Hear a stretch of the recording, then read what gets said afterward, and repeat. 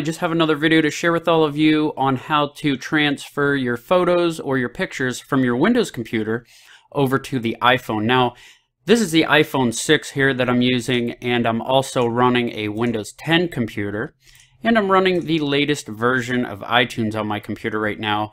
Many of my subscribers had asked me to do this video, so I thought I'd go ahead and do it. So what you want to do is basically get your iPhone connected to your computer and open up iTunes and you will see at the top here as long as everything goes right for you guys a little a picture of a phone you want to select that and you're in your summary here. What you want to do is just come down the list and choose photos and then you need to choose sync photos. So basically my pictures folder is right here on my desktop and there's all my photos in there. So what we're going to do is just browse to this folder through iTunes so what I'm going to do is go ahead and select this right here and select this choose folder one. And of course I said it was on the desktop. So you have to come over here and choose desktop. So there is this folder right here is the same as this folder. So when I select that, there's all the pictures that are in this pictures folder. It's the same exact folder. So you're simply browsing to that. Now I'm going to go ahead and upload this one here.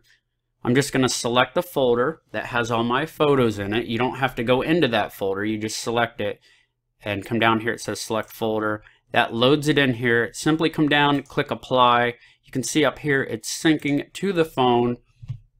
Now all I need to do, guys, is go into the camera roll, go to all photos, go to albums, and that is right here at the bottom.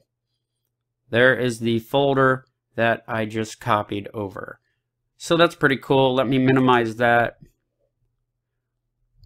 and go into the pictures. So what you want to do is say you want to copy more over, simply just go in here to choose folder, browse back to wherever your pictures are, select another folder.